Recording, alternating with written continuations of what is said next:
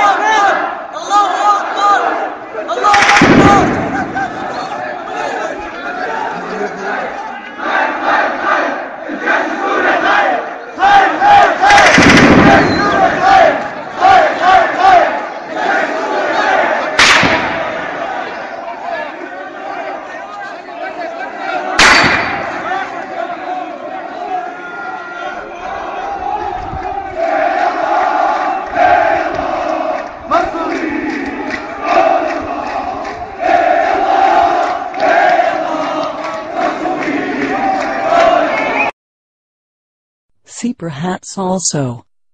Info evidence, 24th April 2005. After the first and the second contact. See, if possible, these videos.